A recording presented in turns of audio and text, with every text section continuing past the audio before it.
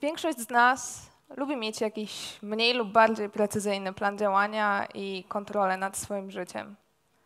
To pomaga czuć się pewniej, ułatwia pracę, codzienne funkcjonowanie. Wyobraźcie sobie teraz, że żyjecie według planu tak perfekcyjnego, że nie ma w nim miejsca na żadną spontaniczność. Do tego stopnia, że zaczynają was stresować zwykłe, codzienne czynności, bo na każdym kroku coś może pójść nie tak i zaburzyć ten plan. Czujecie się dobrze i bezpiecznie tylko wtedy, kiedy udaje wam się trzymać zasad, które sami sobie narzucacie, a karzecie się, jeśli z jakiegoś powodu to się nie uda. Przez to nic już was nie cieszy, żadne podróże, koncerty, spotkania z przyjaciółmi. W nic nie potraficie się zaangażować i nic nie daje wam radości, bo cały czas myślicie o planie. W końcu ograniczacie kontakty ze znajomymi i spędzacie z nimi coraz mniej czasu, bo łatwiej jest trzymać się zasad, działając w pojedynkę. Perfekcja powoli oddala was od ludzi. Stajecie się samotni, ale z nikim też nie możecie o tym porozmawiać, bo jeśli przyznacie się, że sytuacja wynika, wy, wymyka się spod kontroli, ktoś może próbować was powstrzymać, a na to nie chcecie pozwolić. Widać po was skrajne zmęczenie, pogarsza się zdrowie, bo przecież tak strasznie trudno jest dzień po dniu perfekcyjnie wypełniać plan. Bliscy zaczynają się o was martwić, więc zaczynacie kłamać coraz więcej i więcej, bo to jest najłatwiejszy sposób, żeby dali wam spokój. Podskórnie czujecie, że to, co robicie, nie jest normalne, ale z jakiegoś powodu po prostu nie możecie przestać. Ja miałam 13 lat, kiedy moje życie zaczęło wyglądać w ten sposób, bo zachorowałam wtedy na anoreksję. Zaczęło się od zwykłego postanowienia schudnę. I mimo, że zawsze kochałam jeść, zmiana diety przyszła mi zaskakująco łatwo. Ta świadomość, że kiedy tylko chcę, jestem w stanie odmówić sobie podstawowej potrzeby jedzenia, była dla mnie czymś nowym i ekscytującym. W zamian za wysiłek dostawałam satysfakcję. Nikt wokół, ani ja nigdy wcześniej nie byłam w stanie utrzymać takiej samodyscypliny. Odchudzanie szybko zamieniło się w obsesyjną potrzebę kontroli i perfekcji w wypełnianiu planu układanego każdego dnia. Nawet najmniejsze słabości wywoływały we mnie poczucie winy, za duże, żeby warto było sobie na nie pozwolić. Funkcjonowałam w takim systemie kar i nagród, z tym, że w praktyce on sprowadzał się głównie do kar. Choroba powoli zawłaszczyła sobie całe moje życie. Sprawiła, że stałam się wyobcowana i kiedy tylko mogłam, spędzałam czas sama, chociaż było to do mnie zupełnie niepodobne. W ten sposób samej było mi po prostu łatwiej trzymać się zasad i mieć wszystko pod kontrolą. Nikt wtedy o nic nie pytał, nikt nie próbował odciągnąć mnie od wypełniania planu, nikt nie stawał na drodze do perfekcji. Poza tym, oczywiście, bardzo mocno schudłam. W takim ostatecznym momencie, po około trzech latach, kiedy trafiłam do szpitala, ważyłam jakieś 34 kg. Kojarzycie takie kampanie, w których skrajnie wychudzona dziewczyna stoi przed lustrem i widzi w nim o tą osobę? To nigdy nie byłam ja. Być może jestem wyjątkiem, ale doskonale zdawałam sobie sprawę z tego, jak wyglądam, że widać mi kości, że spadają ze mnie wszystkie ubrania i nie czułam takiej potrzeby, żeby jeszcze bardziej chudnąć. Może to dziwnie zabrzmi, ale nie chciałam nawet wiedzieć, ile ważę.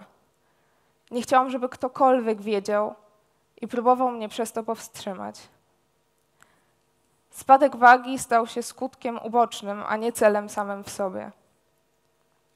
Trzymałam się tych rygorystycznych zasad już nie dlatego, że chciałam dalej chudnąć, ale dlatego, że nie potrafiłam już żyć bez planu, a jakikolwiek brak dyscypliny utożsamiałam ze słabością. Zanim zaczęłam się odchudzać, byłam zupełnie zdrowa, aktywna, zawsze otoczona ludźmi. Nie tak szczupła jak niektóre moje koleżanki, ale też nigdy nie otyła.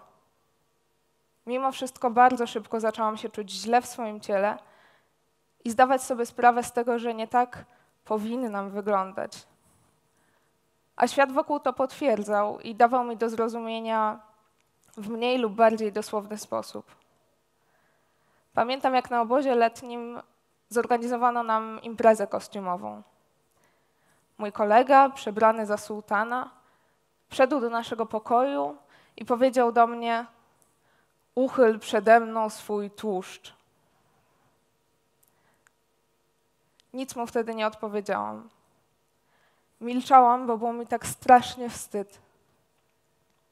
A podczas choroby towarzyszyło mi takie uczucie, które przynajmniej na początku było uskrzydlające.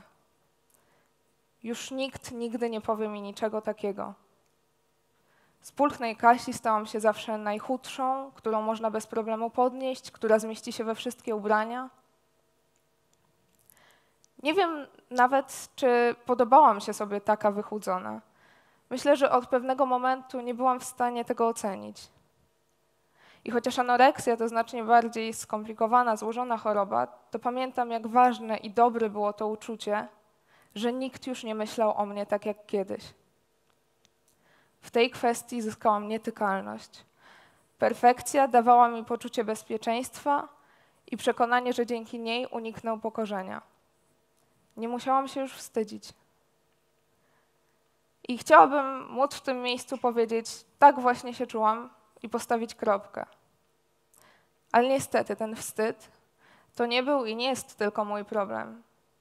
Nie tylko problem osób z zaburzeniami odżywiania, nie tylko tych, którzy mają niską samoocenę, a nawet nie tylko tych, którzy go w ogóle kiedykolwiek odczuwali. W pewnym sensie to jest problem nas wszystkich. Bo to my, jako społeczeństwo, bierzemy udział w kreowaniu takiej rzeczywistości, która pomaga go pielęgnować i w której dążenie do perfekcji staje się wartością, a jednocześnie ukrytym mechanizmem obronnym. Instagram, Facebook, przemysł modowy, przemysł kosmetyczny oczywiście nie ułatwiają sprawy. Codziennie pokazują nam niedoścignione wzorce, a jednocześnie nawołują, żeby kochać siebie. Z jednej strony bardzo dużo mówi się o samoakceptacji, o byciu sobą. Istnieje ogromna świadomość tego, jak destrukcyjnie media społecznościowe wpływają na postrzeganie siebie. Ale z drugiej cały czas rośnie przyzwolenie na wieczną ocenę, zwłaszcza fizyczności. I to nie tylko w mediach. Za każdym razem, kiedy nawet w takiej zwykłej rozmowie rzucamy, wiesz, tak gruba dziewczyna, ten chłopak z dziwną twarzą, za każdym razem dorzucamy cegiełkę do fundamentów takiej rzeczywistości. Wierzę w to, że to, jak mówimy, ale też jak myślimy o innych, ma ogromne znaczenie. I oczywiście nikt z nas tutaj nie rzuciłby nikomu w twarz, jesteś gruby i brzydki, a przynajmniej mam nadzieję, że nikt by tak nie zrobił. Ale po pierwsze, mam wrażenie, że już znacznie częściej zdarza nam się myśleć w podobny sposób.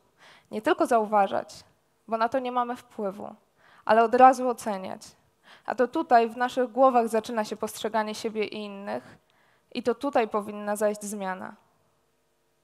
A po drugie, naprawdę nie trzeba używać takich słów, żeby zabolało albo żeby podkopać czyjeś poczucie własnej wartości. Oczywiście można powiedzieć, że to banał i zgadzam się z tym, ale z jakiegoś powodu cały czas musimy się z tym mierzyć. Nigdy nie wiemy, co kryje się po drugiej stronie, jakie kompleksy, jakie niepewności, jaka historia, mimo że często ogrywane śmiechem i autoironią. To jest bezpieczniejsze bardziej atrakcyjne być zdystansowanym, umieć się z siebie śmiać, nie przesadzać i nie być przewrażliwionym. Jasne, dystans do siebie jest świetnym i na pewno bardzo zdrowym uczuciem, ale tylko kiedy wynika z wewnętrznej dojrzałości, przekonania, doświadczenia, a nie kiedy jest używane jako tarcza. Zastanówcie się przez chwilę. Odpowiedzcie sobie naprawdę szczerze na pytanie, jak mówicie jak myślicie o innych, zwłaszcza osobach trzecich.